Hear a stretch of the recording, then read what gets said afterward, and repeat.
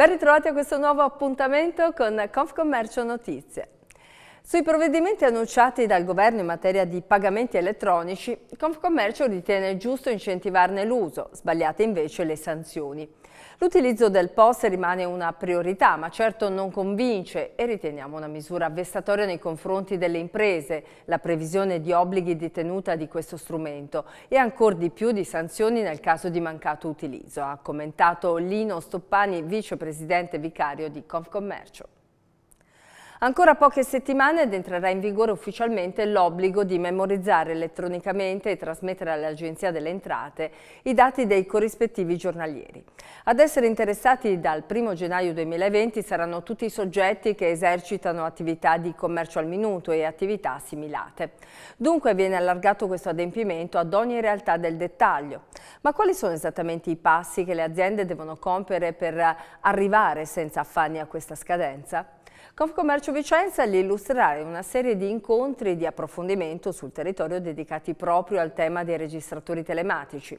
Verranno inoltre brevemente affrontate le tematiche inerenti ai nuovi indici sintetici di affidabilità, le date dei vari incontri sul territorio sono disponibili sul sito confcommerciovicenza.info e per partecipare è sufficiente comunicare la propria adesione agli uffici Confcommercio via email ad ascom.ascom.v.it oppure telefonando allo 0444 96 43 00. È in corso in centro storico a Vicenza la manifestazione Cioccolandovi, dedicata al mondo del cioccolato. 29 stand da tutta Italia con la miglior produzione di cioccolato affollano le principali piazze della città, che chiuderanno stasera alle ore 20. Noi siamo andati all'inaugurazione della rassegna, giunta alla quindicesima edizione, abbiamo intervistato alcuni protagonisti.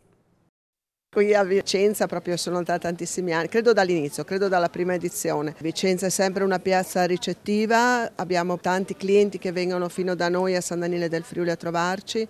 Le proprietà del cacao sono innumerevoli, flavonoidi, sali minerali, che praticamente è una medicina naturale. Ecco.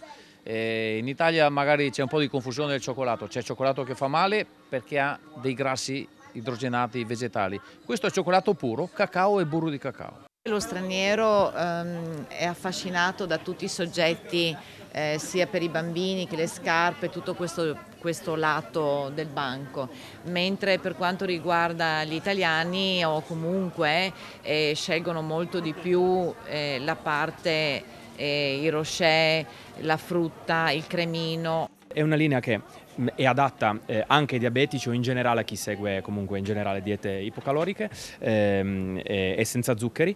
Eh, in questo caso qua eh, il dolcificante utilizzato è estratto di sciroppo di maltosio, maltitolo. Ehm, nello specifico questi prodotti qui sono anche senza glutine senza, eh, e senza nessun tipo di olio e grasso aggiunto, quindi fondamentalmente vanno bene per tutti. È annunciato per il 6 e 7 novembre prossimi lo sciopero dei gestori di impianti di carburanti su tutta la rete stradale ed autostradale.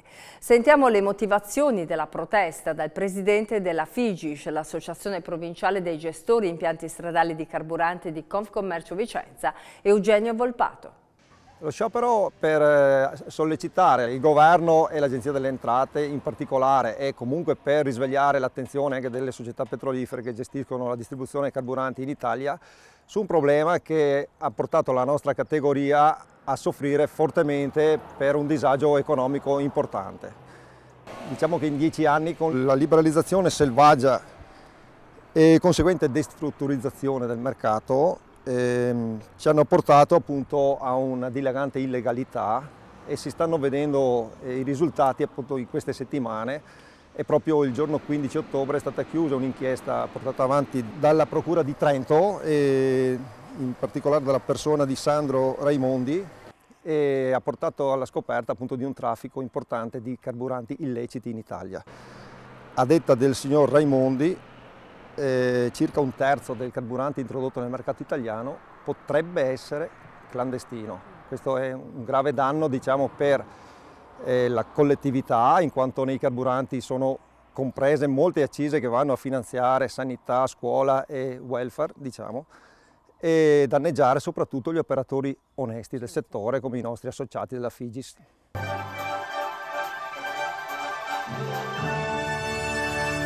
Per la rubrica Storie di successo da raccontare, oggi vi raccontiamo i 100 anni della ditta Carlotto Liquori di Valdagno.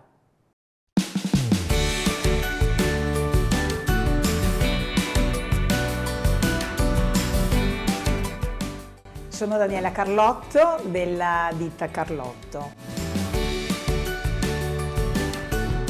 Tutto comincia nel 1919 quando eh, mio nonno Girolamo e il fratello Vittorio decidono di provare a produrre dei liquori. Siamo quindi tenutari di mh, vecchie ricette, di liquori desueti, di eh, una storia che nei suoi cent'anni ha visto l'evolversi e il cambiare di tantissime abitudini. Un mio vecchio cliente di Milano diceva se si parla di liquori allora si parla di Carlotto e queste sono le soddisfazioni che nell'arco di cento anni assieme a tante hanno arricchito la nostra storia. Il nostro locale storico ha visto tantissime generazioni passare con le quali noi abbiamo potuto interagire e questa è forse una parte dell'eredità che ci rimane preziosissima.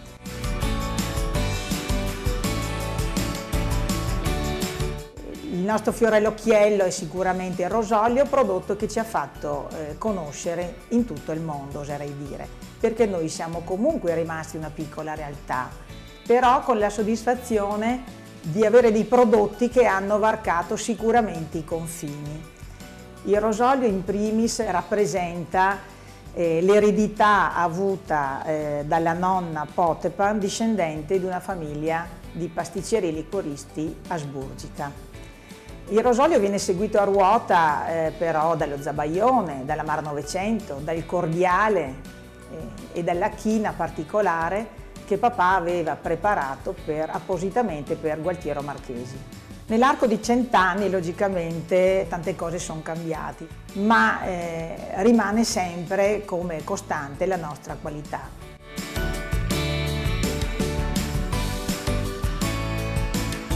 Il mantenere l'eredità non è stato facile, perché questi sono tempi di grande cambiamento, però l'essere attenti alle esigenze e, alle, e, ai cambiamenti che il mercato richiede, ma senza stravolgere la propria natura, eh, non è stato facile, ma abbiamo, ho cercato di farlo.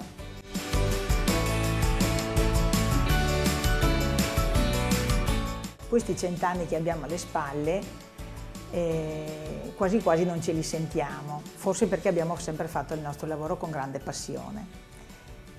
Abbiamo cominciato a festeggiare con un profilo basso, i progetti erano giusto giusto adatti a fermare questi cent'anni, ma poi abbiamo intanto eh, riscontrato un grandissimo affetto da parte del nostro territorio. Abbiamo fatto a scuola di cocktail un evento che ha avuto un grandissimo successo, una bellissima cena fatta con i nostri prodotti, eh, ricette nuove che il territorio ci ha voluto regalare con grande affetto.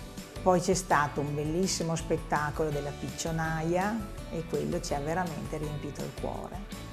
Proseguiremo con la presentazione del nostro libro, il libro sul centenario proprio, su questi cent'anni, e una cena organizzata dalle associazioni ipovedenti di Vicenza e Verona. Sicuramente le soddisfazioni che abbiamo ricevuto quest'anno eh, e, per, e per questo centenario, per i festeggiamenti del centenario, per le contaminazioni, sono state eh, un propulsore per farci affrontare il futuro in maniera più serena, forse più sicura, perseguendo sempre la qualità che ci ha contraddistinto in passato e tenendoci legati a quei canoni che eh, non hanno tempo.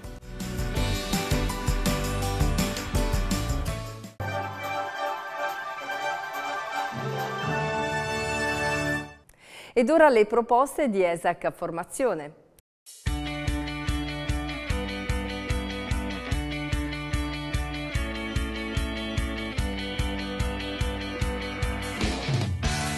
Esaca Formazione propone il 4 novembre dalle 9 alle 13 il corso sulla vendita assistita del fashion retail, ovvero come regalare ai clienti una fantastica shopping experience.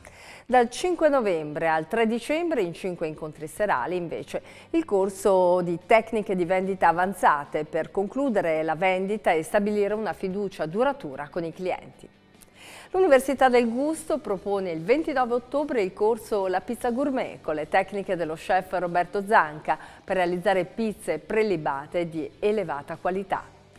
Infine dal 7 al 21 novembre il corso La Pasticceria Casa Tua con i consigli dello chef Alberto Basso per realizzare i dessert prelibati per ogni genere. Ed ora l'agenda.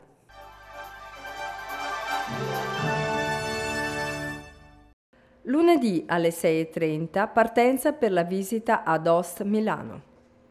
Alle 12.45 consiglio della delegazione di Vicenza. Alle 14.30 incontro sui registratori telematici. Mercoledì alle 14.30 incontro sui registratori telematici. Alle 14.30 consiglio della sezione territoriale numero 4 di Vicenza. Alle 18.30 incontro delle macellerie del gusto. Venerdì incontro alle 17 dell'Associazione Provinciale Agenti Immobiliari d'Affari e Mediazione sul tema mediazione atipica. E per quanto riguarda questo appuntamento con Confcommercio Notizie è davvero tutto. Vi ringrazio per l'attenzione e vi do appuntamento a domenica prossima. Un arrivederci e buona settimana.